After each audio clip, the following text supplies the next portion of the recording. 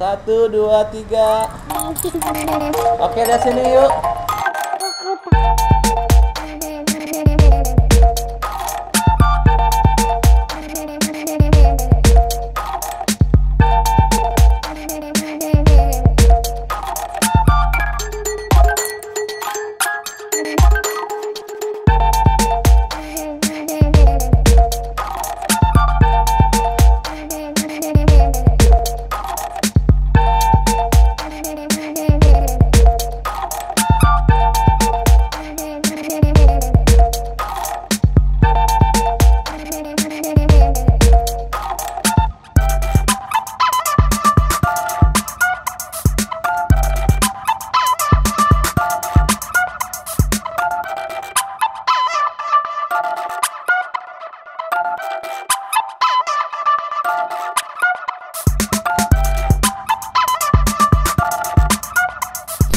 Nah pas kemarin itu gue itu kan ini ya ke rumahnya Teh Astri, eh Teh Astri, kok inget ke Astrinya? Ingat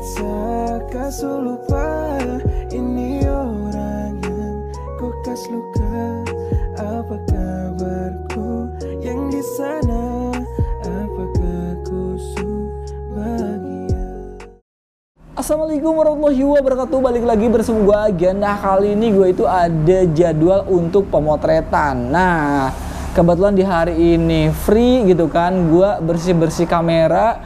Karena sudah lama banget ya nggak bersih-bersih kamera gitu kan. Banyak banget debu. Terus ya riskan untuk berjamur. Karena sekarang kan musim dingin gitu kan Harus dibersihin kayak gitu semuanya. Oke uh, video sebelumnya gue itu menemukan dompet kemudian antar ya antar ke pemiliknya tepatnya namanya itu Teh Risma. Teh Risma ya Teh Rismawati ya kalau nggak salah. Oke okay. dan kemarin itu alhamdulillah gue menemukan uh, orangnya ketemu rumahnya alhamdulillah ya.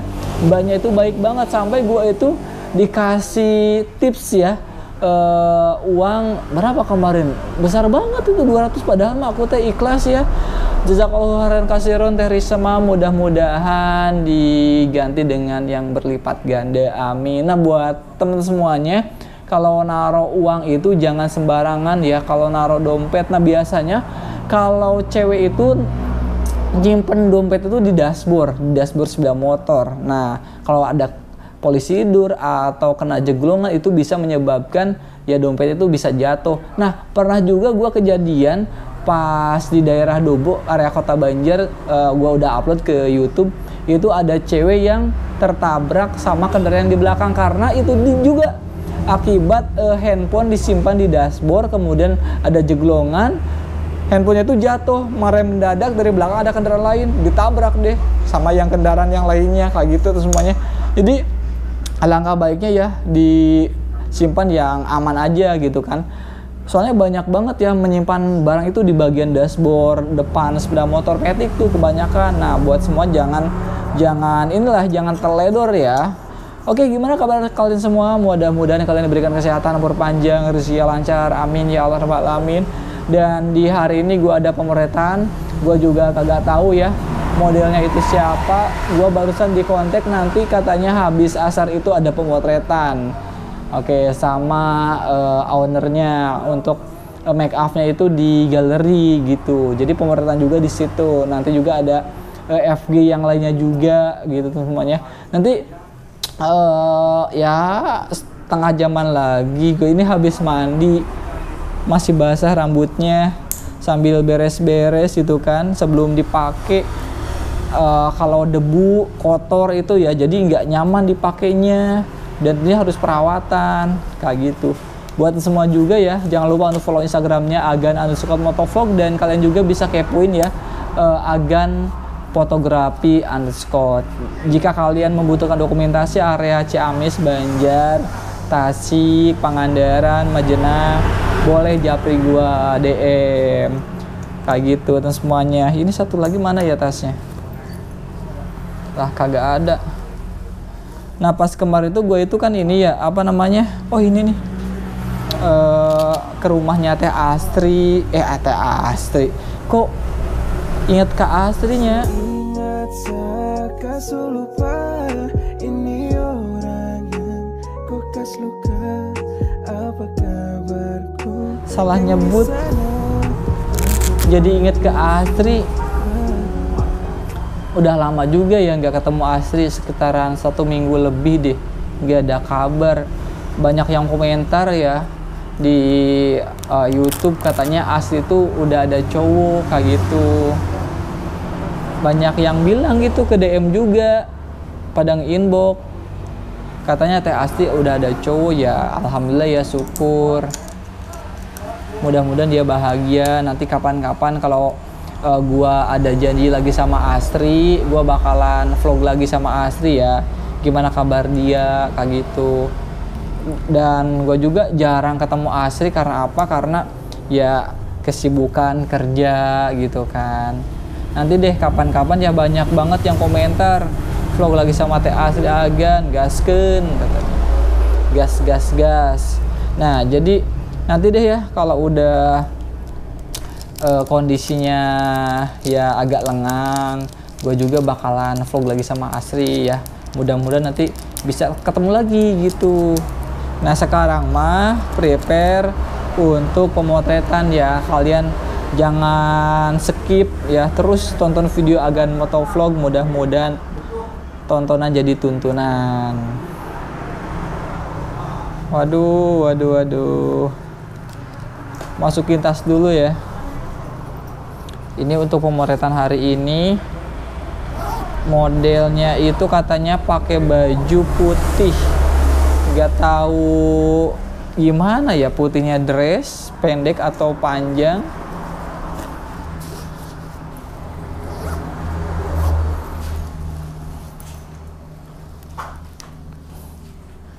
Banyak yang ini ya banyak yang komentar vlog lagi oh ya banyak juga yang ini yang nanyain teh putri. Teh putri ini ya lagi ini teman semuanya lagi ujian sampai tanggal 7 Maret. Ya mohon doanya juga ya. Dia itu eh, lagi fokus. Kemarin gua coba DM Put gimana kabarnya? Alhamdulillah baik. Pas live ya gue live di Instagram ada Putri muncul Put gimana kabarnya? Baik Alhamdulillah. Eh, kapan nih bisa ketemu? Gitu Eh, sekarang-sekarang lagi fokus ini ujian katanya ujian sekolah. Eh, soalnya eh, Putri itu sampai tanggal 7 doakan ya mudah-mudahan lancar eh, ulangannya ujiannya ujian praktik kalau nggak salah. Dia itu kan jurusan apa ya? Multimedia. Multimedia atau DKV sih ya. Oke kalau Teh Anissa itu sekarang kan kerja tuh di Solaria ya di Jakarta. Nah katanya Lebaran pulang. Kemarin pas gue itu kan ketemu tuh sama mamahnya Teh Anissa. Nah pas di apa namanya ya? Pas di Cikabu, heeh, ketemulah sama mamahnya. Kaget juga gitu kan. Te- Ternyata tetangga Teh Anissa yang nikahnya.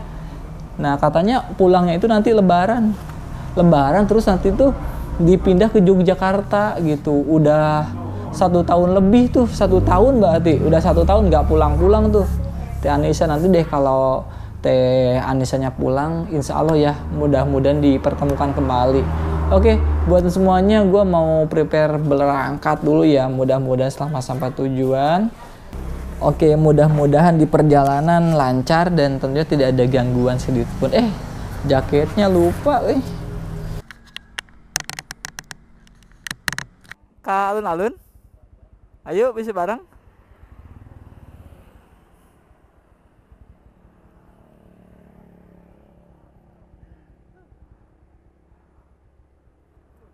Sok. Ulang tahun Banjar di alun-alun.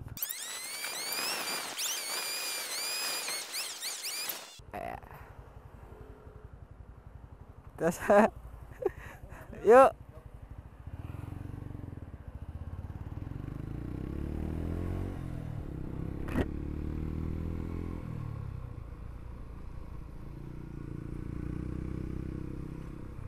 Wow, ini ah cuacanya itu enak banget ya untuk jalan-jalan sore. Nah, bentar lagi kan ini yang memasuki bulan puasa, bulan Ramadan. sekitaran oh, satu bulanan lagi lah ya jadi persiapan ya buat teman-teman semuanya ya untuk menjalankan ibadah puasa mudah-mudahan kita semua diberikan kesehatan dan lancar ya menuju ke hari yang fitri ya tentunya Oke teman semuanya di sore ini gue itu ada pemotretan. Mudah-mudahan lancar. Nanti gue akan kenalin deh ya kepada teman semuanya. Modelnya cantik pokoknya ya. Cewek. Ya iyalah cewek ya kebanyakan model itu ya.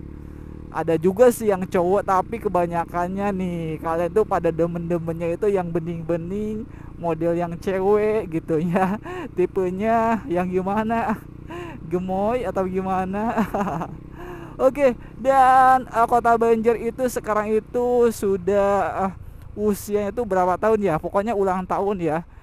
Uh, kota Banjar mudah-mudahan sejahtera aman. Amin ya Allah rabbal alamin. Wih gila ini terik banget mataharinya. Panas banget ya. Kalau lurus tuh ke itu ke Pangandaran. Gue ini habis mandi langsung keluar rumah. Tapi perut itu kosong ya. Jadi buat semuanya kalau pergian jangan lupa untuk makan dulu gitu kan. Nanti gue coba ngopi dulu sambil makan roti sebelum ya dimulai. Tadi gue ada chat itu jam berapa ya? Jam empatan tapi gue mandi dulu lah. Oke akhirnya hijau juga ya.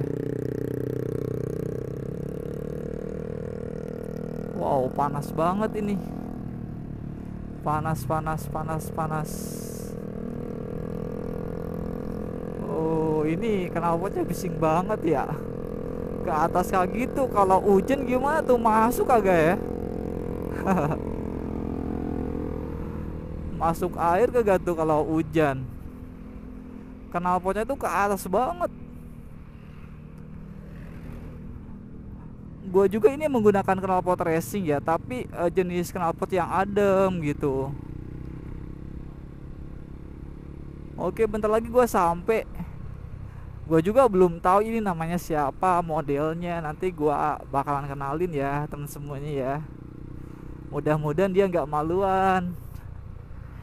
Wih gila ini terik banget. Oh ya kemarin juga nih sepanjang perjalanan gue dari Banjar ke Ciamis tuh panas banget. Gue pulang-pulang itu ya hitam banget terus ngeluruh pakai sabun. Sampai itu tuh pakai batu juga. Sampai sampai ini apa namanya uh, lecet-lecet gitu. Kebablasan euy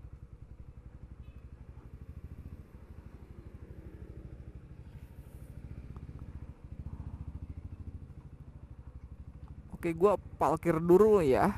Ops. Oke alhamdulillah ya sampai juga.